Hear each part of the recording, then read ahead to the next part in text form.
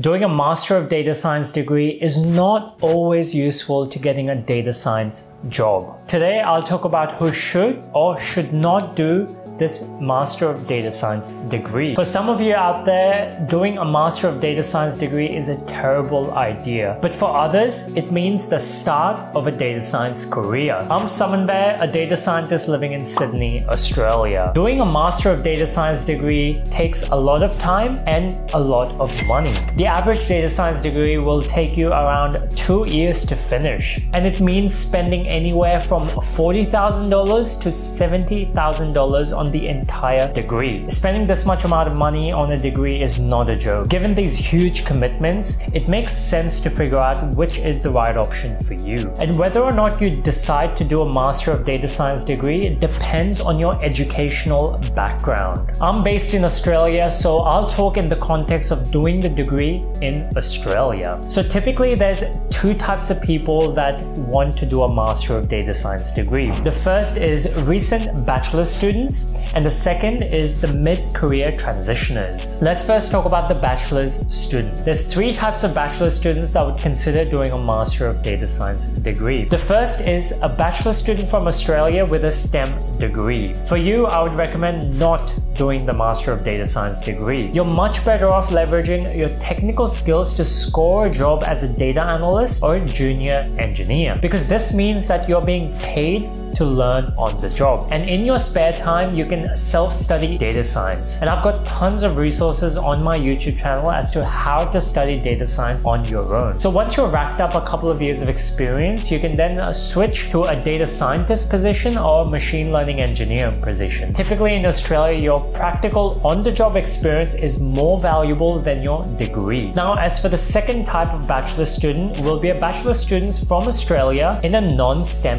field. For those people, I'd recommend doing a Master of Data Science degree because that'll give you some exposure to all facets of the data science field. A lot of Masters of Data Science degree actually don't let you do the degree unless you've got some technical background. So to counteract this, I'd recommend doing a Diploma of Data Science, which is actually better because that lets you taste what data science is like and trial it to see whether or not you actually like it. So once you've done the diploma, you can then go on to doing a Master of Data Science degree, which you might actually finish earlier because of your Diploma of Data Science, which gives you credit towards your degree. Sometimes if you're really lucky, you might be able to score an internship or a job just through the Diploma of Data Science. The final type of bachelor student wanting to do the Master of Data Science are bachelor students that are looking to immigrate into Australia. So getting a job as an international is very hard in Australia. Doing a Master of Data Science degree in Australia will give you a student visa which allows you to stay here for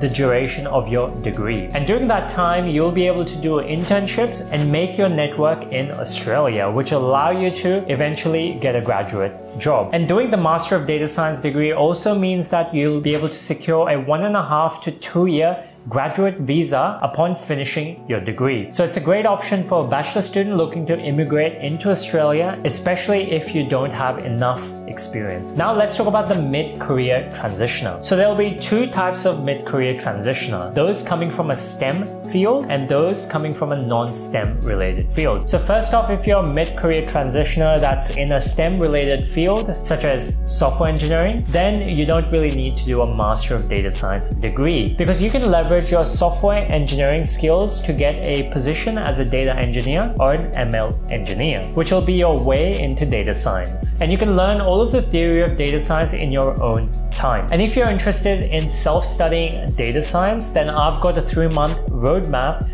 to learning data science and it's completely free. Now, if you're a mid-career transitioner with no background in STEM, then you definitely should do a Master of Data Science. And usually these degrees tend to be quite flexible, which means you can do it part-time alongside your full-time job. And this will make the transition into data science a little bit easier. In summary, don't do a Master of Data Science degree if you've already got a bachelor's degree in a solid STEM related field. So the Master of Data Science degree is best for non-STEM bachelor students, overseas bachelor students, and mid-career transitioner with no experience in STEM. Now finally, if you're thinking of doing a Master of Data Science degree in order to get a promotion or a pay rise, then save yourself the effort. It's a lot better if you just try to level up in your existing job or try to look for other job opportunities which helps you level up. That's it for this video. If you enjoyed it, then smash that like button and I'll see you